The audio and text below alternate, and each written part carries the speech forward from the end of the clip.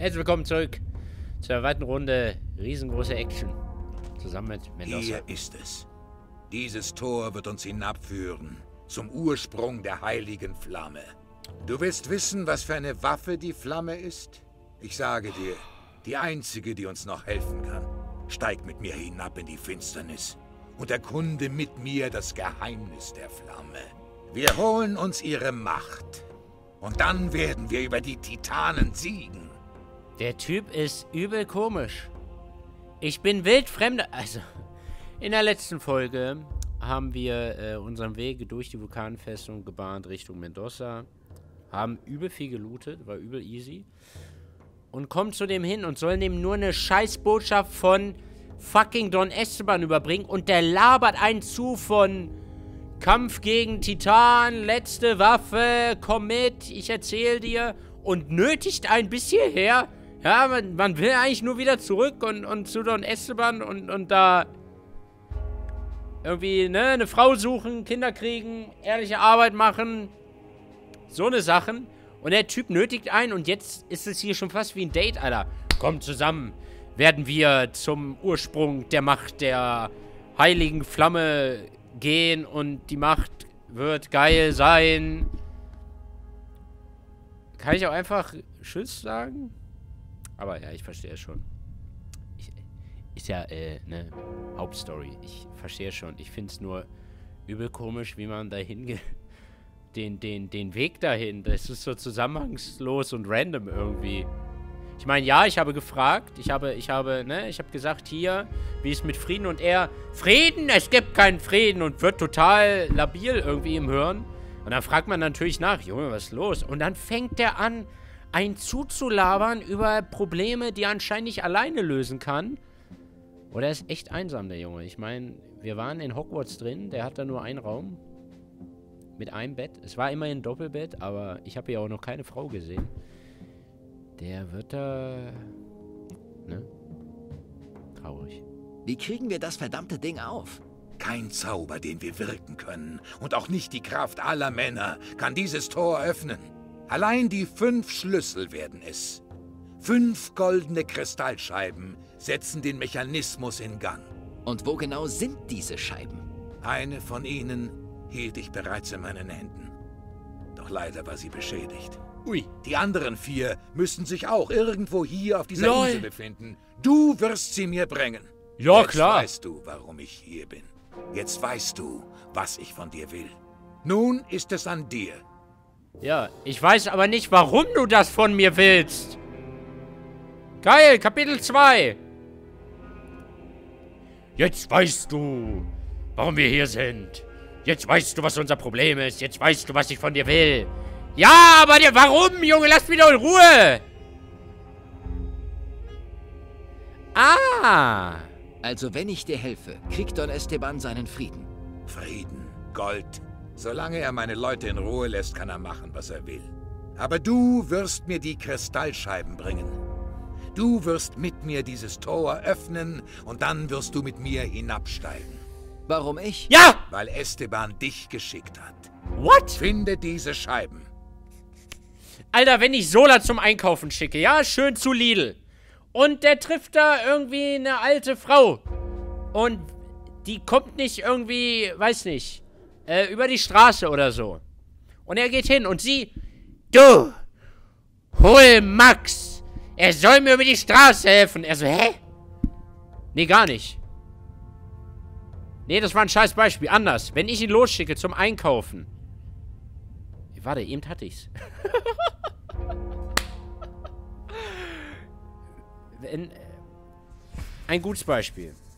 Wenn ich Soda zum Einkaufen schicke und ich sage ihm, yo, kauf eine Pizza und bring den Pfand weg. Ja, genau. Nee, ja, bring dabei den Pfand weg. So, dann bring deinen Pfand weg, kauf die Pizza, geht zur Kasse. Und der Kassierer sagt, nee. Du darfst das erst kaufen, wenn du... Wenn du... Wenn du...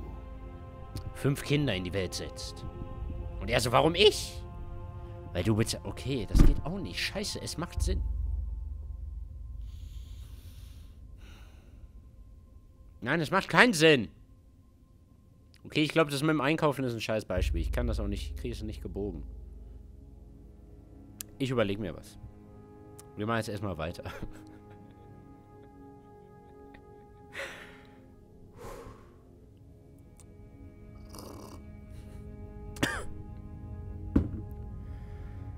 Auf jeden Fall finde ich das scheiße hier gerade. Ich verstehe den Sinn nicht. Wegen der goldenen Kristallscheiben. Genau, das wollte ich auch noch sagen. Eine goldene Scheibe haben wir ja den Don geschenkt, ne? Das hat der Schmied, Oscar, wie er hieß, ja, zusammengekleistert und ich habe die einzelnen Teile ähm, von den Banditen zusammengeklaubt. Aber es gibt fünf. Wo außer beim Don soll ich noch suchen? Ich hörte das Gerücht, dass unten in unserem Zwischenlager vor der Vulkanfestung kürzlich eine der Kristallscheiben aufgetaucht sein soll. Bisher ist sie allerdings noch nicht bis hierher geliefert worden.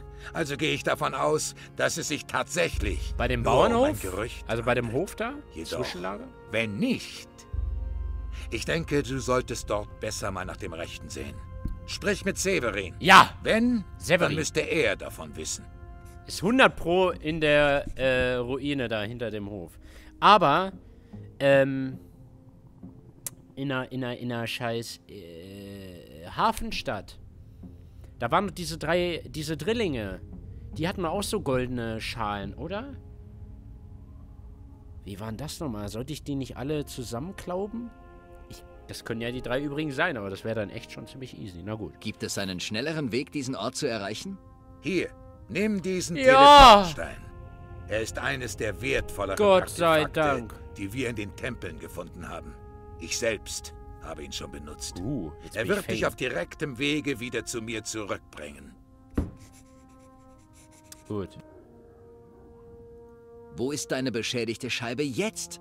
Sie war der dunklen Welle ausgesetzt und hat dabei leider gänzlich ihre Macht verloren. Schisch. Ohne sie können wir das Portal nicht öffnen. Und wo willst du so schnell Ersatz für sie finden?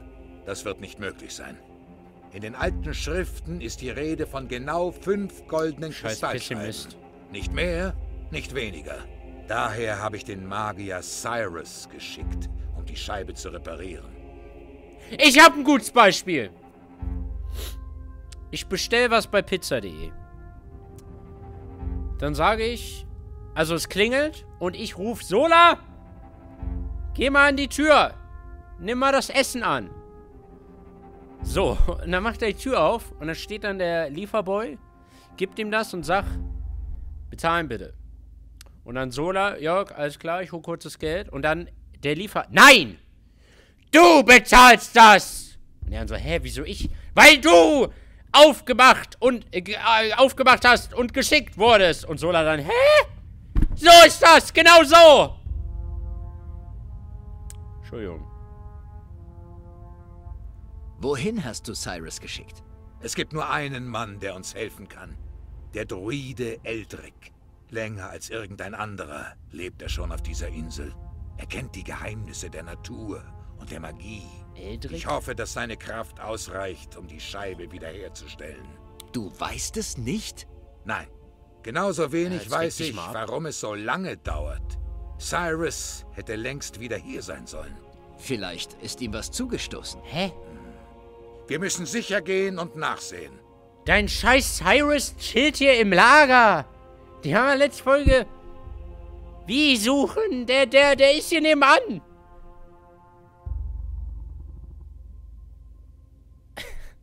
Ich werde nach Cyrus suchen. Jo. Ja, das ist der Geist, den ich hier brauche.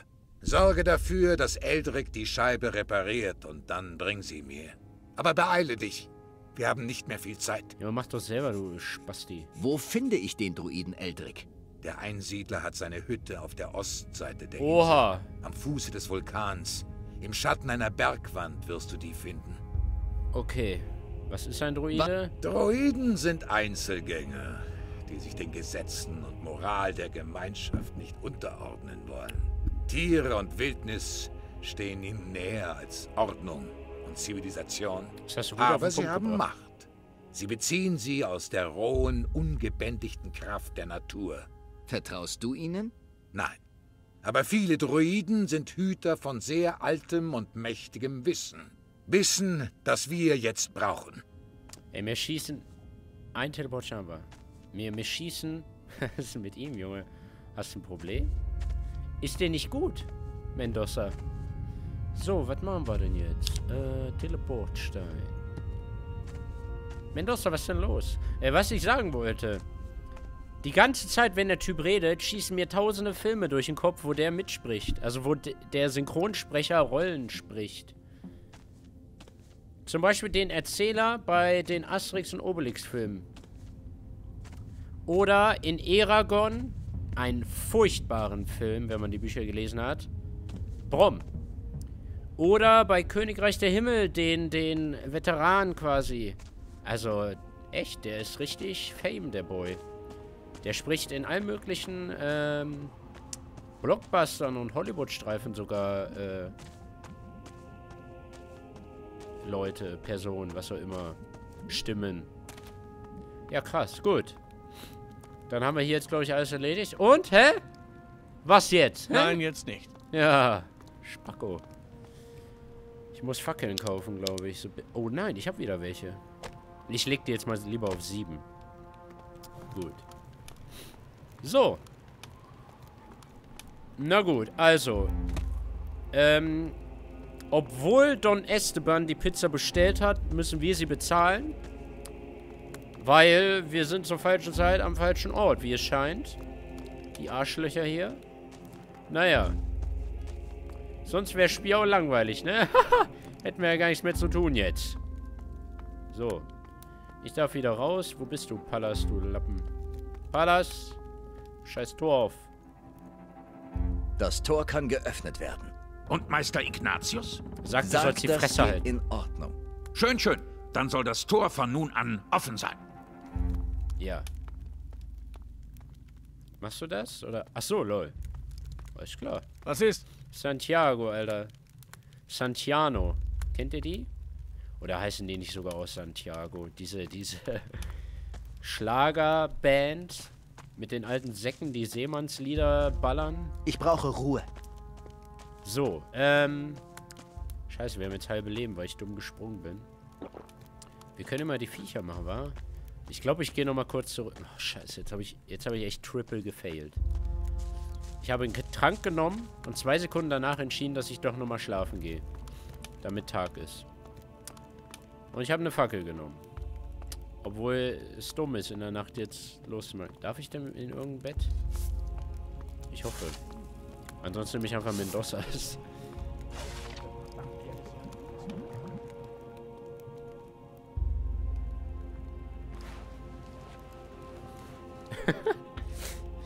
ich stelle mir so vor, man kommt so nach Hause nach dem Ballern oder so am Wochenende. Denkt so, oh, jetzt schön Ich hoffe, Bett. du weißt, wie du dich in einem fremden Haus zu benehmen hast. Genau, und da liegt einfach irgendein Fremder in deinem Bett. Und pennt einfach seelenruhig in Klamotten und Waffen. So. Die brauchen wir nicht mehr. Gut, dann klären wir hier jetzt erstmal die ganze Umgebung, wa? Wir sollen ja hier die Viecher für Paul, geiler Name übrigens, ähm, clearen. So, hier waren Geier. Warum hast du das gemacht? Weil ich die, den hier... Hä, du hast mir die Aufgabe gegeben, du Vollidiot. Wie viel Bolzen habe ich denn noch? Warum hast du das gemacht? Weil du mir die scheiß Quest gegeben hast, du Vollidiot! Schwarzer Wolf war relativ heftig, ne? Okay, der ist auch schnell. Oh ja! Oh, oh ja! Hä?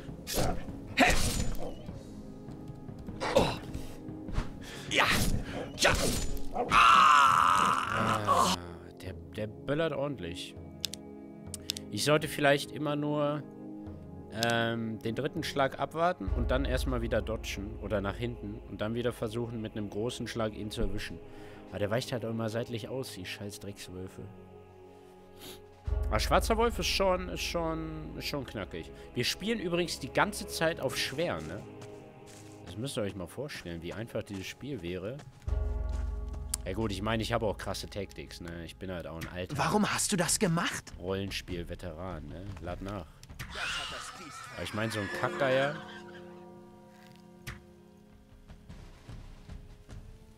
So. Das hatte das Viech verdient. Und du. Oh,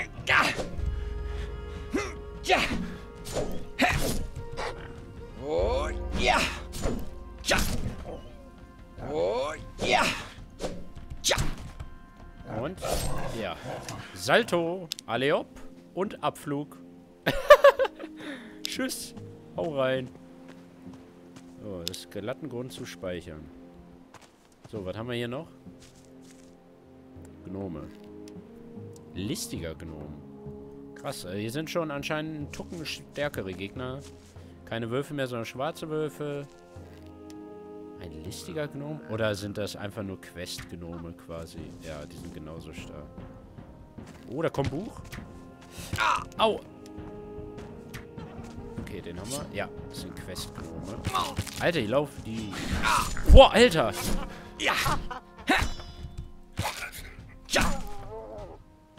Was, meine Mutter? Ah, die werfen in Lauf, ey. Komm her, du. Ne?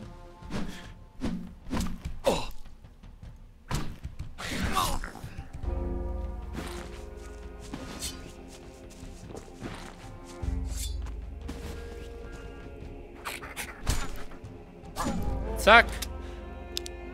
Gut. Pauls gefährliche Monster. Nice. So, wo war der zweite? Hier. Und der dritte war... Ach, hier.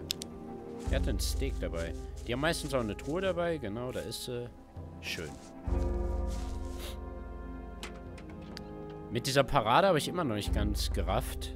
Oh, nice. Bei den Gnomen. Also, er macht die Parade. Ich kriege auch keinen Damage. Aber es sieht nicht so aus, als ob ich sie geblockt hätte. Die schlagen einfach nur und nichts passiert. Also ich kriege irgendwie keinen Schaden. Vielleicht fehlt da irgendwie eine Animation oder so. Oh lol. Hier ist ein Zelt und niemand ist da? Na denn. FFN.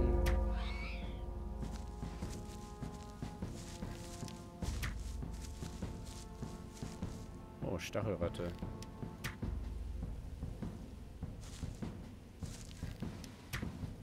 Oh Leute, ich hab sie! Alter, ich bin einfach ein Pro, Leute. Ich bin Pro. P-R-O, Junge. Pro. Oder kommen sie? P-R-O. Noch einer, oder? Oder war es das? Das war's. Hä, war das nicht noch einer? Ich hab den runter... LOL! Das wollte ich gar nicht. Ich habe den runterge... Nee, habe ich nicht. Da ist er. Ja gut, easy. Lemon Squeezy. Aber die gehören nicht mehr zu seiner zu seiner Quest, also... Ja. Aber ich kann die trotzdem machen, ich meine. Ach, da ist er. Guck mal, der ist wieder zurückgelaufen. Äh, Also Seegeier sind ja echt easy mit Armbrust. Die halten genau perfekt zwei Schuss aus. Also ein Tucken weniger als Gnome. Gnome halten quasi eigentlich auch nur zwei aus, aber sie haben dann immer noch ein Tucken... Oh, Ogerwurzel. Ein Tuckenleben. Hier wäre ein Bett gewesen. Na gut. Und nochmal von vorne. Also rechts, rechts, links, links. Geschafft. So. Pfeile. Und Kochrezept. Und Witz erzählen. Ist ja schön. So, clear ich jetzt hier die Gegend? Ich würde sagen, oder? Das ist ja alles Viehzeug, was ich... Wogegen ich schon ankomme. Äh, aber ja. Grabmotte, ja, die... Oh, eine Panzergille. Die ist zwar ein bisschen schwerer, aber im Rahmen des Möglichen. Wenn ich mich nicht komplett behindert anstelle. Oh. So viel zum PRO. Ah, jetzt geben sie Gas. Gemein Drecksviecher. Alter. Ja! Ich treffe nicht mehr genau, ähm... Ich krieg die, die... Oh, lol. Oh yeah! Ja, jetzt habe ich sie wieder raus. Ich, äh, man muss ja immer genau timen, wann man drückt, damit man schneller zu, äh, angreift. Okay, jetzt die Panzergrille. Da hinten ist noch eine Grabmutter. Was ist das hier? Gucken wir gleich. So. Ich äh, mampfe mich mal voll. Gegen die Panzergrille zählt jede HP. Nein, jetzt. Gut. Nein! Oh, habe ich nochmal gedrückt? So. Panzergrille. In den Anus. Boah, Alter, ist echt null Schaden, ey, mit der Armbrust. Einen schaffe ich noch. Oh ja!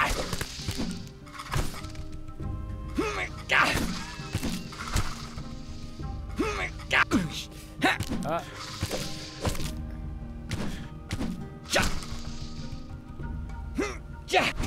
Fuck. Ja. Haben wir. Die macht weniger Schaden, als ich dachte. Oder ich in Erinnerung hatte. Ist das hier eine Höhle? Oh ja. Das ist eine Ruine, oder? Ich schätze, in diesen schweren Ruinen, da gibt es vielleicht so drei Stück oder so. Und da sind dann auch nochmal so goldene Kristallscheiben dran. Kann das sein? Äh, drin? Für sein scheiß Portal da? So, jetzt die letzte hier. Na klar.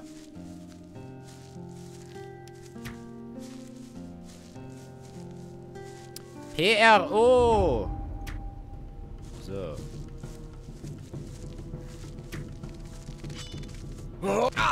Ja! So. Jetzt kann ich mich in meine Ruhe umschauen. Eine Wichskappe. Nee, Wichtelkappe. Haha! Er hat Wix gesagt. So. Was ist das hier? Huch! Alter, die Viecher sieht man immer nicht. Oh ja!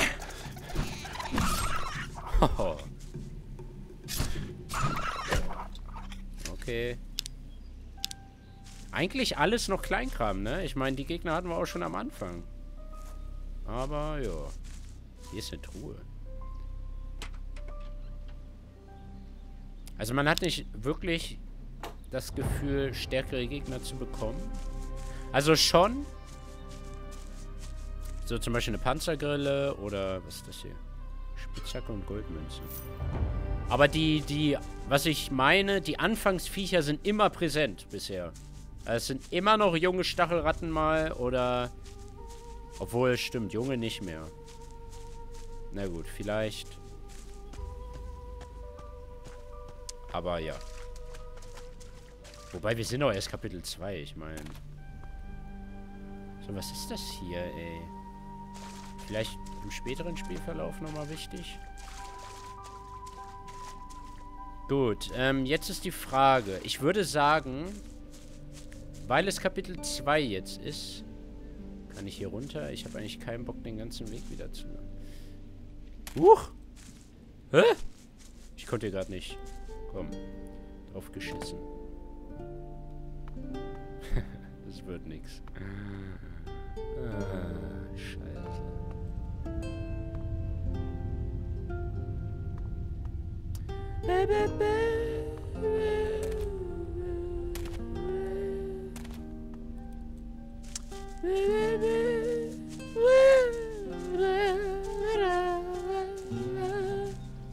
Ich würde sagen, weil wir jetzt Kapitel 2 sind, etc., ähm, gehen wir jetzt erstmal wieder ins Banditenlager und lassen uns einen Teleportstein geben. Ich hoffe, man kriegt da jetzt einen. Ich gehe von aus. Uh. Und vielleicht, auch weil es Kapitel 2 jetzt ist, ähm, die skippe ich jetzt mal. Ich habe keinen Bock auf die gehabt. Ähm, gibt es vielleicht eine bessere Rüstung? Bessere Banditenrüstung. Und man kann dem Don wahrscheinlich eh sagen, hier, was jetzt Sache ist, so...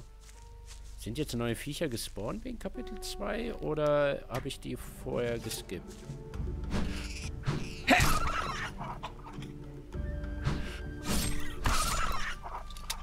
Glaube... Hm. So, Severin soll wir jetzt aber auch noch Bescheid sagen. Der soll ja eine haben. Eine Scheibe. Scheibe Brot. Wie ist die Lage? Katastrophal. Wir haben hier im Zwischenlager ständig mit Angriffen der Gnome zu kämpfen. Am Anfang war es ja noch ganz witzig, aber langsam werden sie zu einer echten Bedrohung. Ich hab die doch weggemacht. Diese kleinen Scheusale ziehen mittlerweile mordend und plündernd über die Insel. Da, sieh dir das an. Da sind sie schon wieder. LOL! Das Ding weg. Spasti! Wie steckt das Ding weg? Guck mal um dich. Da ist noch einer. Mach ihn weg. Alter. Wow! Home Run! Huh! Gedodged. Oh, Alter. Was fällt dir ein? Bam. Niedergestreckt. Alter, krass. Heft dem Jungen doch. Einer fehlt noch. Zehn auf ein! Auf die kleinen Wichser! Oh Leute, ich hab den aus Versehen angegriffen. Los, hinterher. Das sollte reichen. Volle Kanne auf die Zwölf. So ist's richtig. danach geschrien. Nein! da- Schon lange überfällig. Habe ich mein Gold noch? Ja. Lol, geile Quest. Mega das Kampfgetümmel. 10.000 Gegner und Verbündete. Und wenn man mal zufällig einen Verbündeten, die man treffen kann, trifft, boxen die einen weg. Geil. Nice. Auf jeden Fall. Der Junge hat einen Salto gemacht, ey. Das war ein übelster Home Run. Also hätte man laufen können für den Jungen. So weit ist der geflogen. So, ja, das ist ja interessant, was hier so passiert. Falls du es noch nicht begriffen hast, kann ich dich gerne nochmal umhauen. Nur pass mal auf, ey. Das ist zu Deine Gnome sind Geschichte. Ja, ich dachte schon, diesmal würde es mich erwischen. Danke für die Hilfe. Es ist zum Verrücktwerden. Wenn das so weitergeht, haben wir ihnen bald nichts mehr entgegenzusetzen.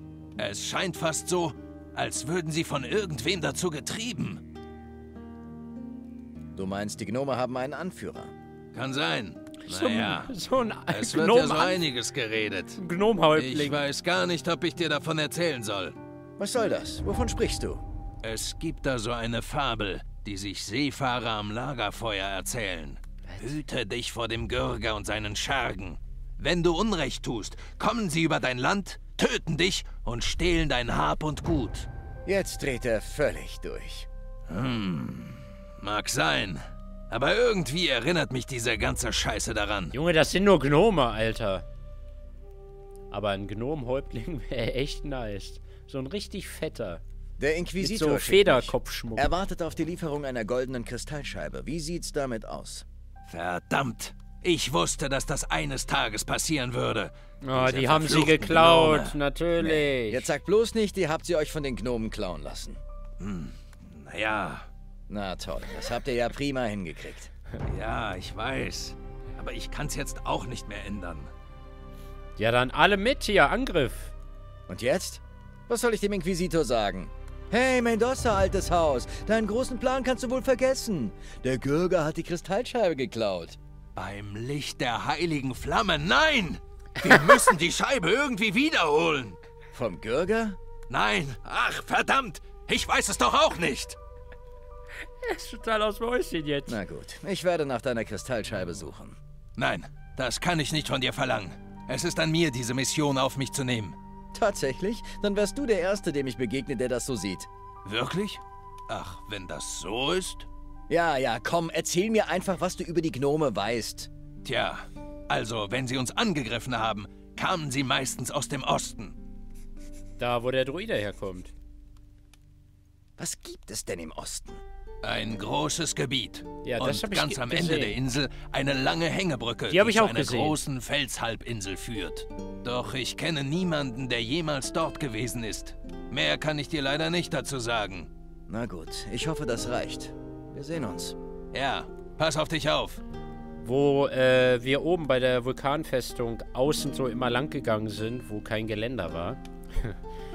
da äh, habe ich das auch gesehen. Darf ich jetzt hier rein oder verkloppen die mich dann? Raus! Ich will ja, Ja, nur verschwinde schlafen. von hier. Na gut. So, das habe ich mich nämlich auch die ganze Zeit schon gefragt, was im Osten ist. Denn da sind auch keine Aufzeichnungen. Aber ein relativ großes Gebü Gebiet. Der Gürger. Mhm. Also ich glaube, wir werden jetzt folgendes machen. Wir werden mit äh, in Kapitel 2 jetzt erstmal zum Banditenlager gehen, alles abchecken, ob es was Neues gibt. Dann in die Hafenstadt. Oder? Ja, damit ich erstmal überall einen Teleportstein habe oder bekomme. Und dann suchen wir den Druiden, würde ich sagen. Ne? Oder schreibt mal, was ihr meint. Ähm, morgen kommt kein Risen. Denn freitags kommt jetzt immer Ark. Das heißt, Ark kommt jetzt immer Freitag, Samstag, Sonntag. Das kennen wir schon von früher. Da gab es freitags auch immer The Forest. Während Gothic-Zeiten war das noch. Ist aber schon länger her. Grund dafür, weil übel viele mehr Ark wollen. Und es wird... Also ich richte mich da einfach nach euch. Äh, ich will Risen nicht zu kurz kommen lassen, deswegen gibt es weiterhin vier Folgen. Ich denke, das ist vollkommen in Ordnung. Von Ark dann drei, denn es haben echt so viele gesagt, mach mehr Ark. Und es wird auch viel mehr geklickt als äh, Risen oder geschaut. Ähm, und ja, deswegen der kleine Kompromiss. Ich hoffe, das ist okay. Und ja, wir sehen uns dann nächste Woche. Schreibt mal, was jetzt eure Vorgehensweise wäre. Natürlich wieder ohne zu spoilern. Ja, sonst regnet Schellen. Und ja, wir sehen uns dann. Haut rein.